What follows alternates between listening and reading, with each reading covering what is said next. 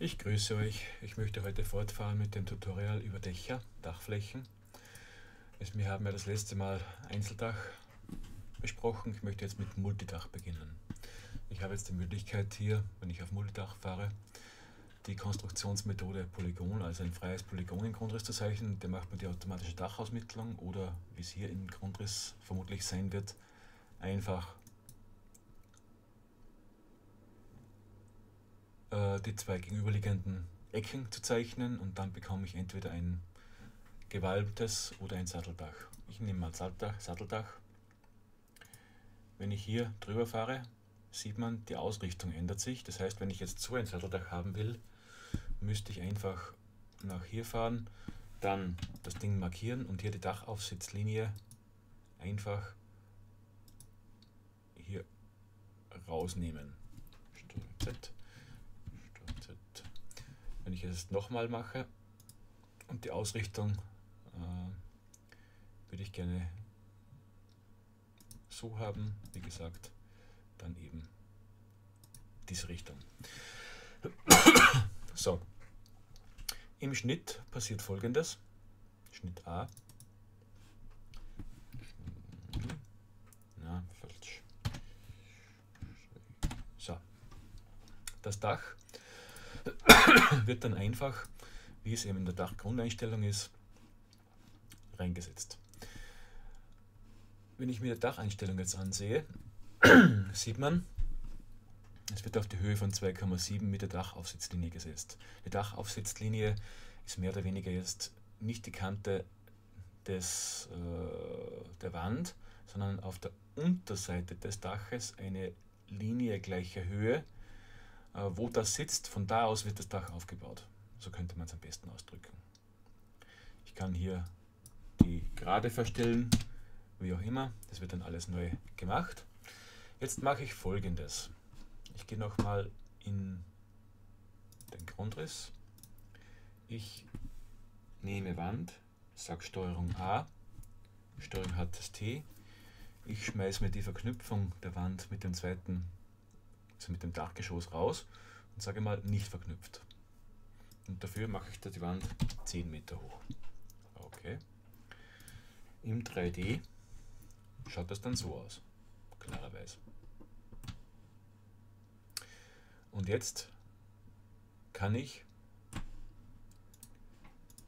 die Wände und das Dach markieren, rechte Maustaste, verbinden Elemente mit Dachschale trimmen. Trimmen. Und schon wird das Dach, also die Wände geschnitten. Ich habe jetzt die Materialität des Daches nicht richtig eingestellt. Das kommt später. Äh, was ich dann gerne noch mache, ist, ich stelle das Material des Daches zur Kontrolle oft gerne auf Glas damit ich reinschauen kann. Das habe ich eben im letzten Mal schon gesagt.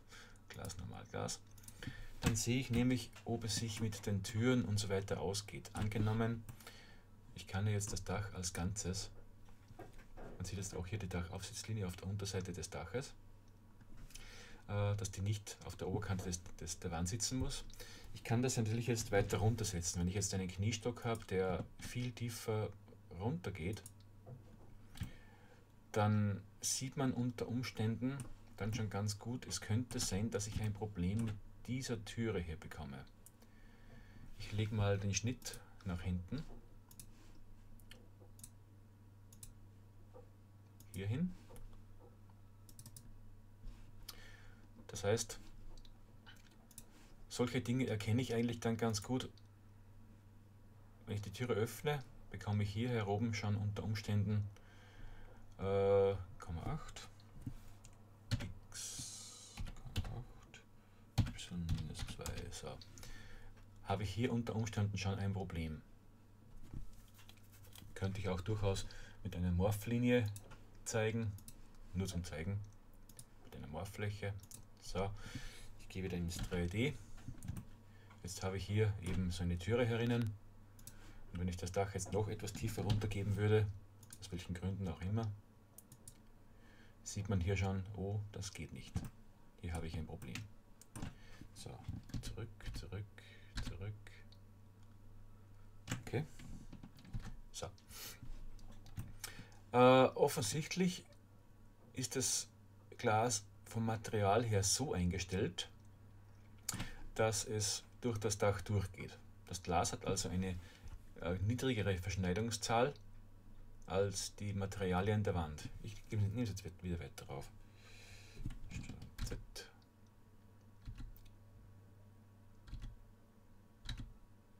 Okay, das war zu viel. Okay, es ist wieder besser. Ich springe jetzt, bevor ich jetzt die Materialität näher betrachte, möchte ich noch einige Grundfunktionen des Daches zeigen. Gehe mal hier hinein und sage, ich will jetzt, ich will jetzt wieder 35 Grad. Ah, sind eh wieder 5, nein, 35 hier. 35 Grad. Und jetzt möchte ich folgendes, das mache ich zu, das auf. Ich möchte jetzt nicht eine durchgehende Ebene haben, sondern ich nehme noch eine weitere Ebene auf. Und ab einer Höhe von 2 Metern soll er das Dach anders behandeln. Mal okay. Das heißt, hier habe ich einen freien Giebel und ab einer Höhe von 2 Metern, also 2 Meter höher, setzt er mir sozusagen eine neue Dachaufsatzlinie hin und walmt das Ding ab. Das heißt, so kann ich Krüppelwall machen. Ich könnte auch ohne weiteres diese Dachaufsitzlinie anklicken. Hier kann ich neue Punkte setzen. Man sieht, was passiert. Ich kann es rausbiegen als Ganzes. Man sieht, was passiert. Ich kann das ganze Dach nach vorne ziehen von der Dachaufsitzlinie her. Ich kann aber auch diese Linie sagen, ich hätte doch gerne geneigt mit 80 Grad von mir aus. Okay, das ist relativ steil. Dann passiert folgendes. Ihr seht schon, man kann dann relativ gut Dachflächen gestalten, die immer verbunden sind. Ich nehme es wieder zurück. Offener Giebel. Okay. Steuerung HTST. Wenn ich den Ballen weiter oben haben will, auf 3 Meter von mir aus. Okay. Diese Linie hier ist dann auch wie eine Dachaufsitzlinie. Klick. Kann ich genauso hier dieses Icon nehmen und hier sagen, ich hätte gern 50 Grad. So kann ich mich spielen mit der gesamten Dachform, wenn ich das will. Natürlich auf der anderen Seite genauso, wenn ich sowas machen will. Das heißt, ich klicke einfach die Kante an, habe hier das letzte Icon in der Bettpalette, dieses hier, und kann hier sagen 50 Grad. Die ganze Sache springt nach vorne, so wie ich es eben haben will. Gut, jetzt kommen wir zur Materialität des Daches.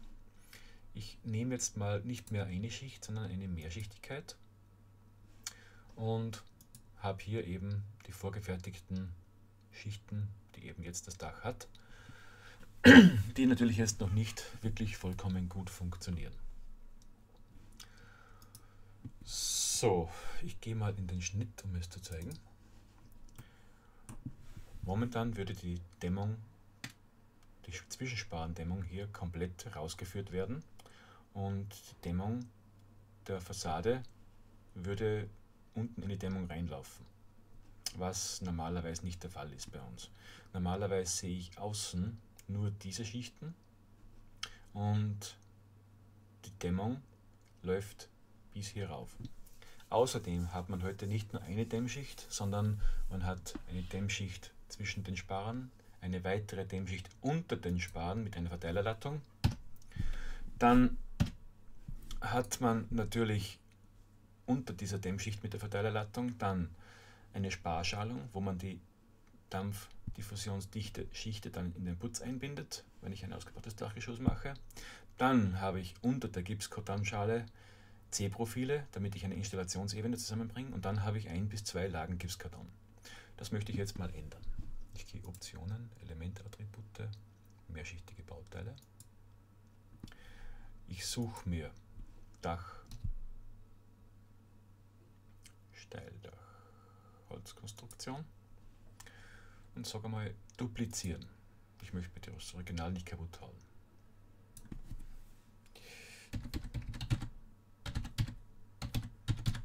Nennen wir es differenziert. Ja, differenzierter. Okay. Differenzierter. Okay. Und jetzt sage ich, hier will ich einfach noch eine Schicht haben. Duplizieren. Na, das war das Falsche. Schicht einfügen.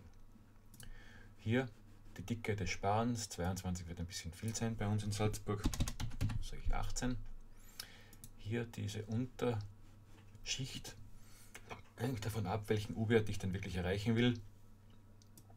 Ich nehme jetzt einmal 12 cm. Das ist eh schon ordentlich dick. Das heißt, hier wäre der Sparren, hier wäre diese Verteilerlattung mit der Wärmedämmung, die natürlich jetzt nicht extra eingezeichnet wird in der, Schichtig in der Schichtigkeit. Dann habe ich Bauholz, das wird in etwa stimmen, nur 24 normal, aber es ist egal. Äh, ich hätte hier noch eine Schicht dazwischen, also Schicht einfügen mit Sperrschicht, Folie, wie auch immer, mit einer Dicke von 1 mm, dass mal was drinnen ist. Man wird das kaum dargestellt finden, aber es ist zumindest da. Ja, wenn ich es größer mache, beginnt es.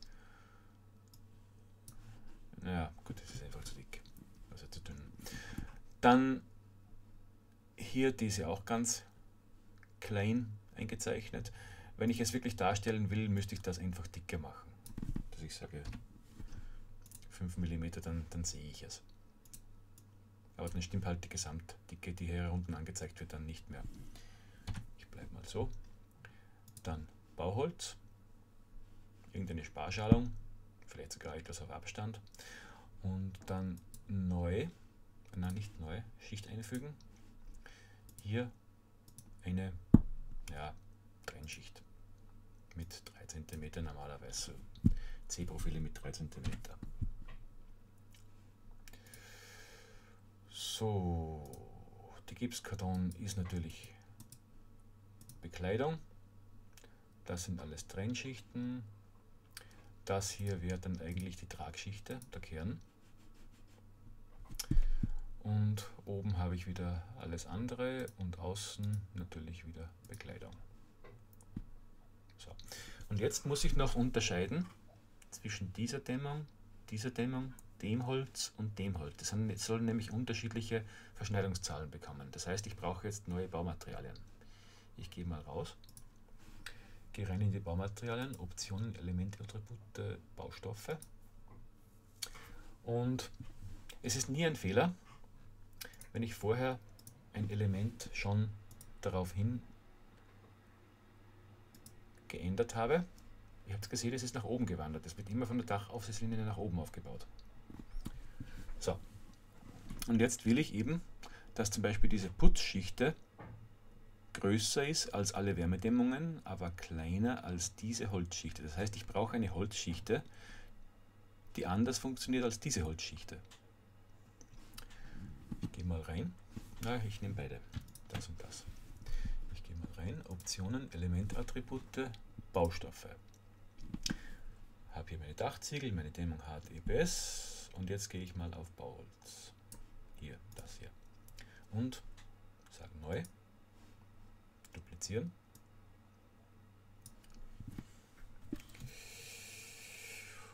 Undurchdringlich.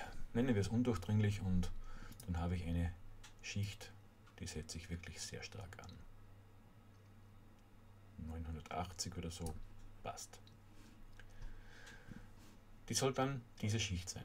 Die muss ich dann später zuordnen. Dann habe ich hier diese Verputzschichte, Verputzkunstharz. Die soll auch stärker sein, 970, also kleiner als diese. Das heißt, der Putz wird jetzt dann rauflaufen bis hierhin. Das einfach durchschneiden. Das gleiche mit dieser Wärmedämmung. EPS gebe ich auch ordentlich auf. 960 von mir aus. Gut. Und dann brauchen wir noch unterschiedliche Wärmedämmschichten, denn eigentlich das hier soll diese Schicht durchdringen. das Mauerwerk. Das heißt, ich schaue mir jetzt an, äh, der Hochlochziegel 730 und die Dämmung weich, Dämmung weich Dach brauche ich nochmal. Neu, Dämmung weich Dach, äh, Zwischenwänden.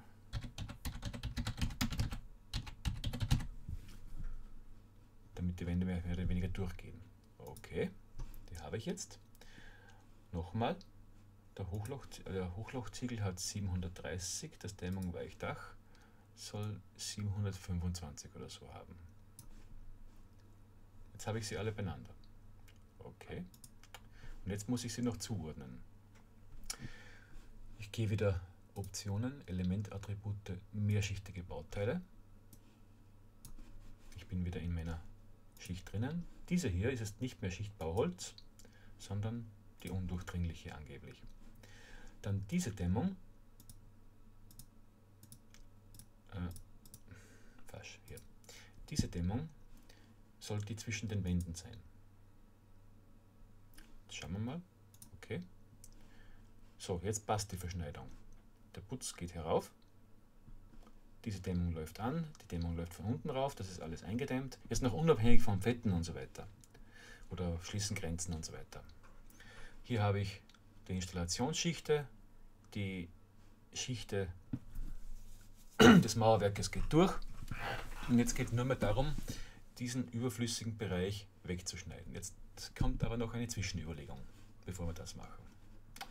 Und zwar, ich habe das Dach jetzt, wenn ich es hier in diesem Geschoss nehme, Steuerung das T, dummerweise im Obergeschoss verankert. Wenn ich jetzt mit dem Dachschulassistenten den Dachstuhl reinmache, also Planung, Dachextras, Roofmaker, Dachstuhlassistent, ich lasse mal alles wie es ist und ich sage okay, dann passiert folgendes, er versucht aus dieser Dachform einen Dachstuhl zu gestalten. Wenn ich mir den jetzt mal nehme, er macht praktisch sowas. Dann sehe ich das aber jetzt in diesem Geschoss, wo das Dach liegt. Das ist nicht gut, ich gehe zurück ich nehme das Dach. Ich mache das im Schnitt, dass es jeder sieht, worum es geht. Das heißt, ich habe das Dach jetzt so auf, in etwa auf eine Höhe von 5,80 Meter. Und wenn ich das Dach jetzt aus diesem Geschoss, aus diesem, aus diesem Geschoss entferne, ins nächste raufgebe, passiert folgendes. Wenn ich es einfach nur raufgebe. Das zweite OK. Zack. Es wandert nach oben. Was ich nicht haben will. Nochmal zurück. Deshalb muss man es so machen, Steuerung T.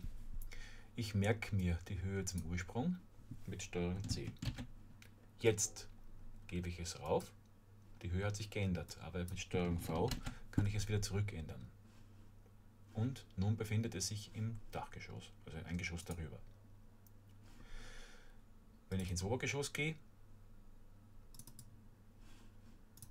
sehe ich das Dach als Untersicht. Wenn ich ins Dachgeschoss raufgehe, wird das Dach in 1 Meter im Dachgeschoss geschnitten. Und wenn ich jetzt den Roofmaker anwende, Planung, Dachextras, Roofmaker, Dachstuhlassistent, alles lassen, außer man will was ändern. Ja, es war vielleicht so gescheiter. Äh, auf das komme ich noch. Dann bei Gradsparen, falls ich Gradsparen habe, möchte ich das auch so haben. Okay. Dann wird der Dachstuhl sauber reingelegt.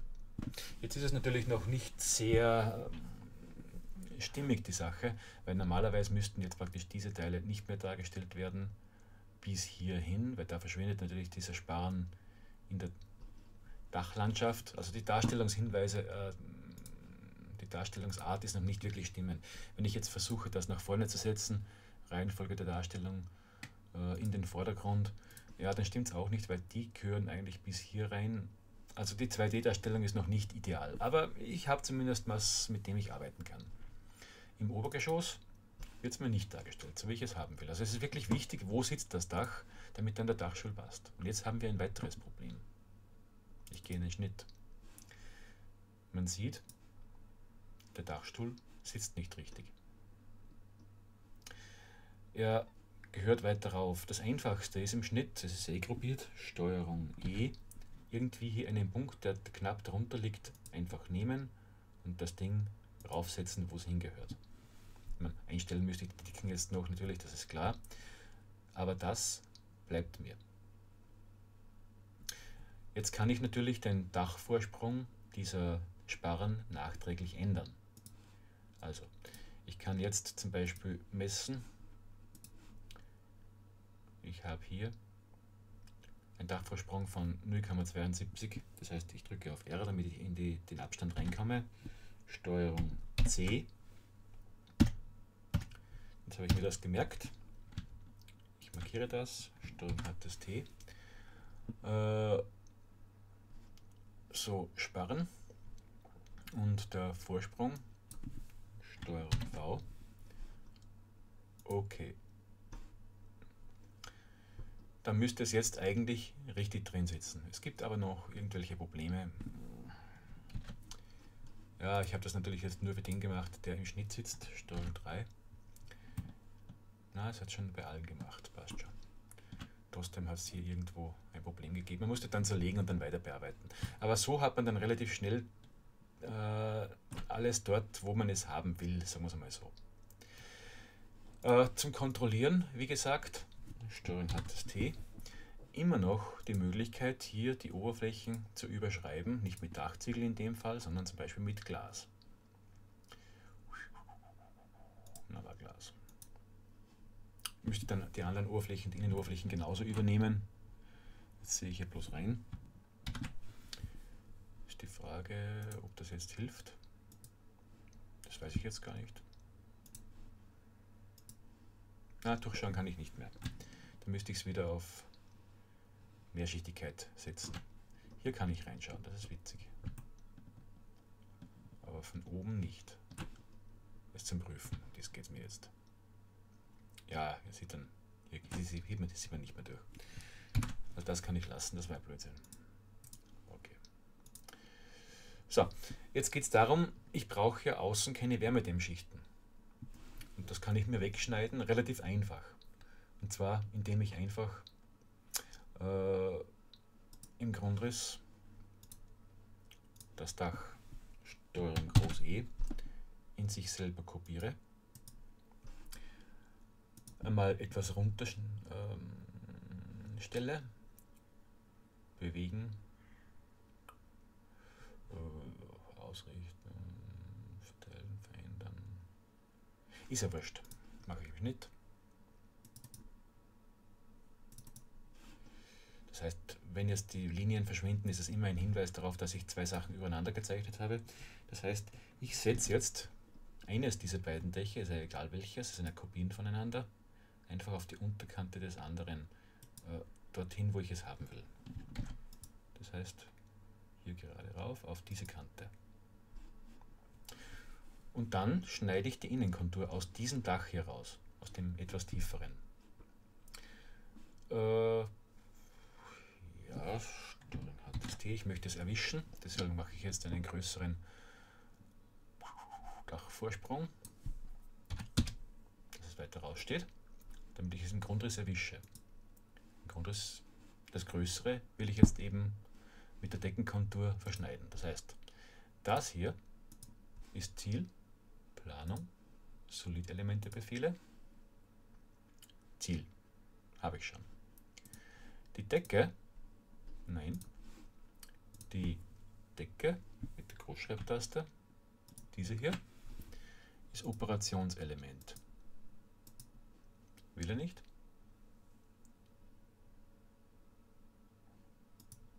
Doch, nimmt er. So, ich habe das Ziel, das Dach, ich habe Operat den Operator, diese Decke, die bis ganz rausgeht. Jetzt sage ich Abzug, aber mit Verlängerung nach oben, damit das Loch rausgeschnitten wird. Und sage ausführen raus. Im Schnitt ah, er hat diese Konto genommen, das ist nicht gut. Doch, es ist gut, das passt schon. Okay, und jetzt kann ich von diesem Dach dieses Dach einfach abziehen. Das heißt wieder das hier als Ziel, Optionen, Planung, solide Elementbefehle. Ziel ist es schon hier. Dann das hier ist der Operator, Abzug, Ausführen. So, jetzt muss ich nur noch dieses Dach auf eine Ebene legen, die ich nicht mehr sehe. Also Steuerung L, Ebenen. Ich baue mir eine neue Ebene hinten dran. Ich sage neu, nenne die Ebene von mir aus weg damit. Okay. Mache sie zu, dass ich sie nicht sehe. Okay. Und lege das Teil auf diese Ebene weg damit. Und schon habe ich hm, nichts.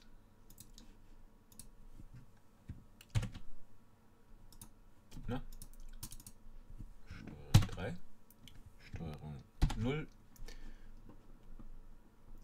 Ja, beim Ball muss man aufpassen, natürlich, das habe ich jetzt nicht schön gemacht, aber zumindest äh,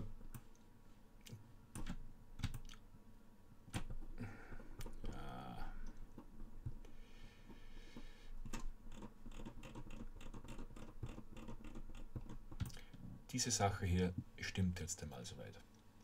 Und im Schnitt